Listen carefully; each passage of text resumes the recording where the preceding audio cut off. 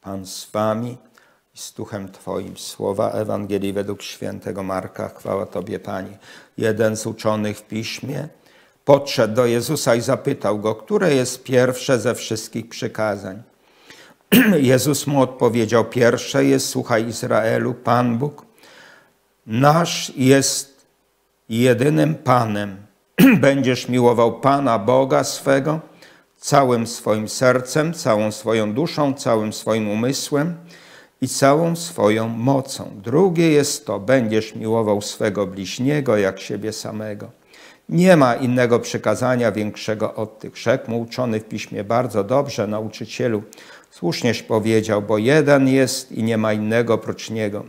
Miłować go całym sercem, całym umysłem i całą mocą. Miłować bliźniego jak siebie samego znaczy daleko więcej niż wszystkie całopalenia i ofiary. Jezus, widząc, że rozumnie odpowiedział, rzekł do niego: Niedaleko jesteś od Królestwa Bożego i nikt już nie odważył się go więcej pytać. Oto słowo Pańskie.